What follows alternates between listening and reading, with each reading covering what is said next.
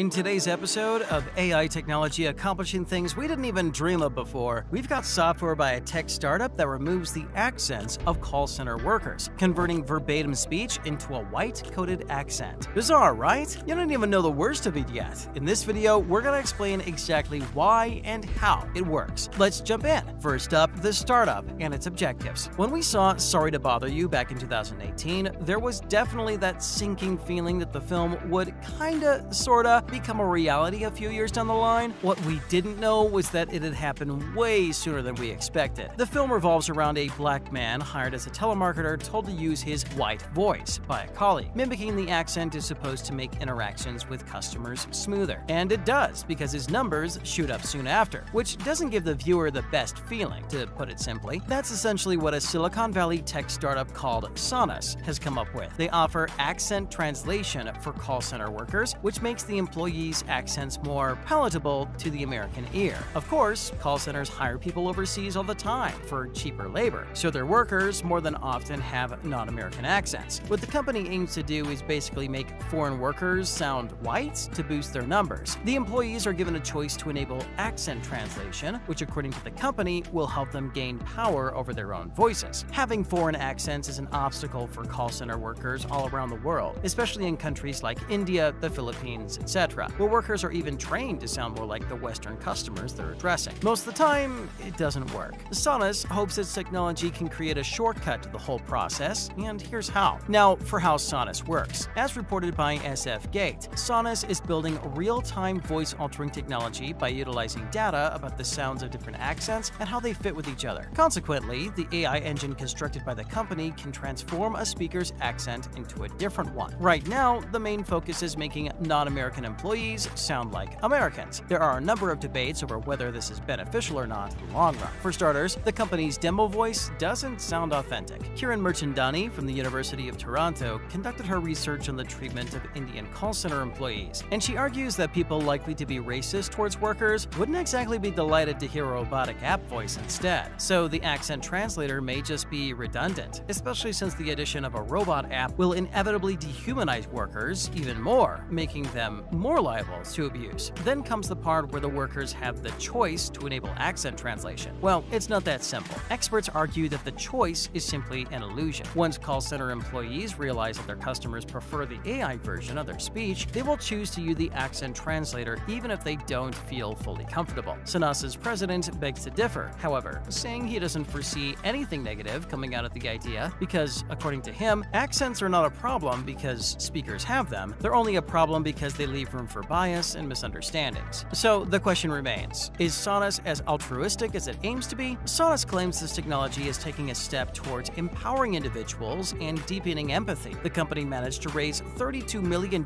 in venture capital back in June. One founder, Bob Lonergan, raved about the software, saying it has the potential to revolutionize communication. Now, here's the catch. In this case, there's a very fine line between helping marginalized people conquer bias and perpetuating the same bias that makes their lives difficult difficult in the first place. A. Aneesh, a sociologist at the University of Oregon's School of Global Studies and Languages, has spent a big chunk of his life studying call centers and accent neutralization. In fact, he got himself hired as a telemarketer in 2007 as part of his research, then detailed his experience in his book Neutral Accent How Language, Labor, and Life Became Global. From his firsthand experience, he witnessed how the call center employees were put through lengthy neutralization training to be comprehensible to the customers, which just made their less thick. Workers had to learn pronunciations of lengthy words like laboratory, along with erasing parts of Indian English, like frequently using sir. What's more is that they had to learn unique American words and memorize all 50 US states and capitals, consequently mimicking the culture while diminishing their own. Quite a demeaning process, to say the least. But here's what the founders of Sana say. According to Sharath Keshava Narayana, one of the co-founders of the startup, the reasoning behind the software dates back to nearly 20 years ago when he worked at a call center in Bangalore. He was discriminated against because of his Indian accent and forced to go by a white American name. Eventually, he left the job and opened his own call center in 2015, but the discomfort of his first experience stuck with him. Sanas's president is another call center industry veteran. Marty Massey Sarim believes call center work should be regarded as a sort of cosplay, which the company is only aiming to improve. Since it's cheaper to take calls out of America, all the work has been outsourced, and if a customer is already upset about a bill or cable travel related issues, they're going to be even more annoyed when they hear an accent. They're going to want to speak to someone in America, and the customer service employee is going to have to deal with their annoyance. That bias is what Sanas aims to erase, and in doing so, both caller and employee are satisfied. Not only that, but the software is already in use by a thousand call center workers in India and the Philippines. Though workers can turn the accent translator on and off as they please, the manager of the center has administrative rights over it for security purposes. Apparently, user feedback has been positive, too. Call center agents reportedly feel more confident and assured on the phone with the software. Now, for further sociological issues surrounding the software, there's no shortage of inequalities that call center workers have to deal with, like having to sleep all day and work nights to adapt to American times, which is isolating to already discriminated workers in their home countries, not to mention the low base salary, which makes call center operating a pretty thankless job. Call center employees are constantly trying to hide these inequalities. Everything is designed to maximize profit, even the procedure through which callers are connected to agents. So it's no surprise that Aneesh has his reservations with Sanas. Looking at it narrowly, it's good for the agents because they don't have to undergo so much unnecessary training, nor are they at risk of being abused for their own accents. In a broader perspective, it may cause more harm than good. To put it simply, the artificial neutralizing of accents diminishes the humanity of the agent on the other end of the call. It could increase ignorance to indifference, giving people the leeway to avoid reality,